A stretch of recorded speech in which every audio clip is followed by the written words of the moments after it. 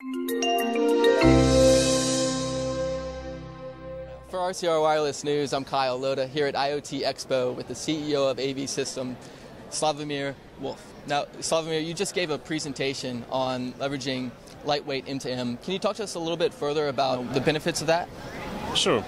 The lightweight machine machine is a kind of the um, emerging technology, and this is what I said basically just on the presentation. We observed that both the big telco customers and the enterprise customers are focusing more on device management because they realize that it's hard to build IoT solution in the scale without really the device management solution.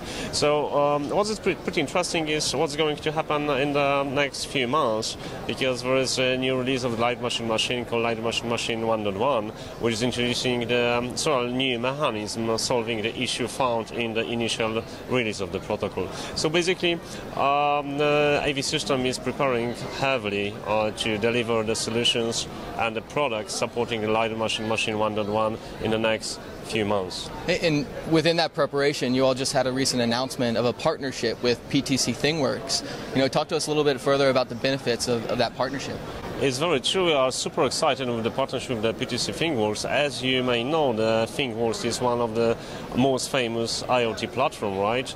There's a solution which is um, on the market for many, many years. So today, with the um, collaboration with the PTC, the AVSystem Coiote IoT device management is, uh, you can say, exclusive solution for the PTC supporting natively the lightweight machine-to-machine protocol. So anybody, basically, any big telco or the enterprise company willing to use the lightweight machine-to-machine within the PTC ThingWorx uh, application can easily to do that. Can easily do that.